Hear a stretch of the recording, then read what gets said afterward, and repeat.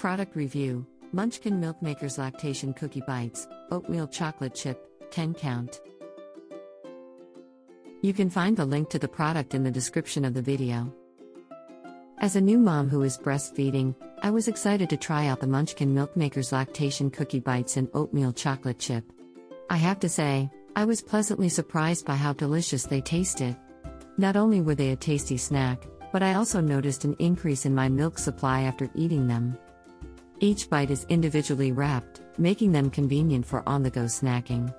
The cookie bites are also made with natural ingredients, which I really appreciate as I try to make healthy choices for myself and my baby. I also like that these lactation cookie bites come in a larger quantity, 10 bites per box, than other lactation treats I have tried. This has been helpful because I can keep them on hand for when I need a quick snack or a boost in milk production. Overall, I would definitely recommend the Munchkin Milkmakers Lactation Cookie Bites to other nursing moms. They're a delicious and convenient way to support your milk supply while satisfying your sweet tooth. Remember there is more information and product link in the video description. See you in the next video.